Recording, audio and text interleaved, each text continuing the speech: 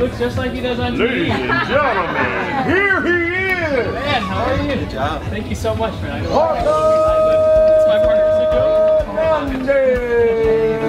Good to see you. Truly, truly excited to have you all here.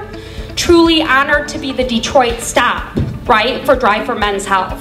Well, thank you so much for, for stopping by. These guys have been driving how many thousand miles now? 2,500 miles, right? When many people just sit there and say, you know what, that's a bad problem, somebody else should do something about it, you guys said, you know what, let's do something about it. It was, it was very frustrating in our practice because we could see maybe 20, 30, 40 patients a day. And we can engage with one patient and try to help them as best we can.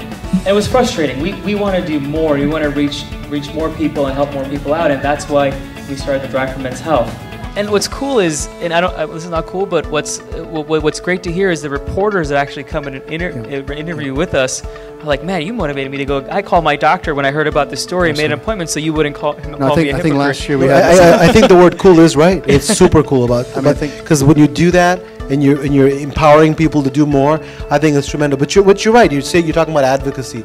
right now, you know, making that appointment is you don't know who you're going to get or, or who you're going to meet, and and having that personal connection is so important, and that's where I think social media really comes in because the, the traditional model of the physician, you know, writing a script, not saying anything, and just giving you a prescription, and saying, "Here, I'll see you next week" or something, has really changed. So thank you guys for coming to Detroit, and good luck on your journeys. Thank you so much. Really, you're doing a great thing. I appreciate it.